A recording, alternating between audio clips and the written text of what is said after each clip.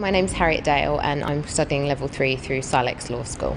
Um, coming into law wasn't something I'd ever really thought about. Um, I previously worked for an estate agency who were looking for somebody to work in their um, sort of property law department, uh, dealing with evictions and court proceedings and things like that. Um, and after working in that for about a year, it made me realise that law was definitely something that I wanted to do with, with my career.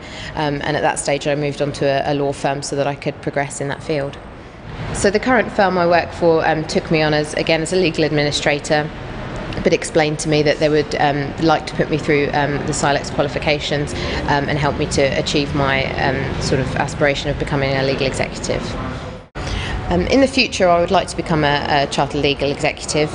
Um, these courses are, are very um, job specific to what I'm doing at the moment, which means it's very helpful with the work that I'm doing. I'm sort of learning every day at work, and having the, re- the revision and the qualifications from CILEx means that I can better my career going forward and, and hopefully become a, a chartered legal executive in future.